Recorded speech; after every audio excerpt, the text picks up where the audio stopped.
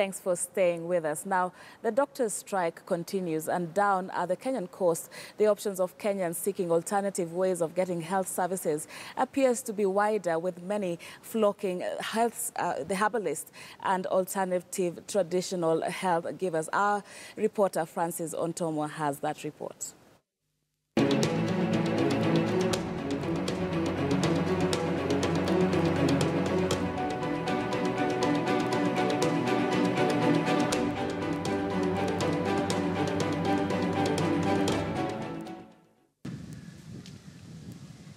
Deep in a village in Mazeras, a middle-aged man is busy assembling his tools of trade.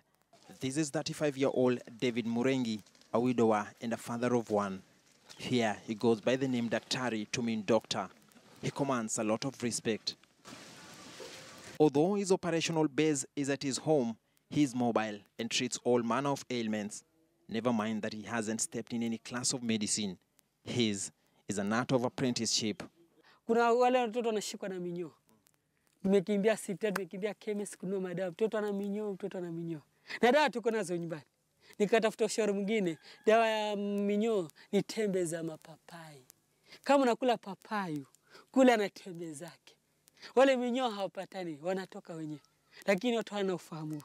The doctor's strike still biting and many Kenyans forced to wade through the tough times. Never before has his business done as well as right now. His medicine ranging from as little as 20 shillings to 2,000 shillings, depending on what the patient is ailing from. Sometimes he offers free services.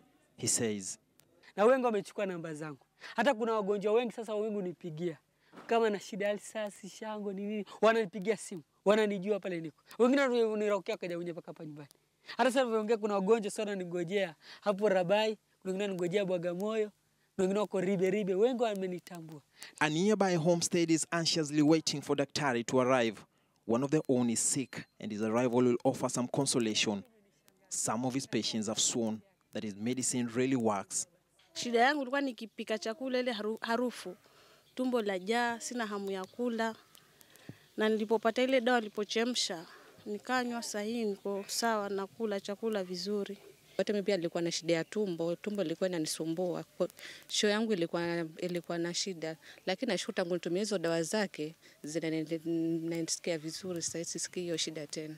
The Kenya Health Bill 2015 was developed with a view to provide a framework to guide the use of traditional and alternative medicine in Kenya. The subsector is fast growing and alluring to many, soaking in even the rogue operators out to swindle Kenyans. But locals here say Daktari is not one of the fake ones. Kama hiyo miti ya shambani ndio yenye inatusaidia kwa sasa, sababu wenye madaktari wamegoma na ugonjwa wa, bado wako hawana madawa ya kutumia, inabidi wasaidike na dawa za miti. Almost every Kenyan knows a person who uses or has used herbal medicine or traditional healing methods for their health needs. With the doctor's stalemate still persisting, most public health facilities are forced to turn away serious medical cases that cannot be handled by nurses. Here at the Kenyan coast, most Kenyans from the lower income brackets are especially groping in the dark.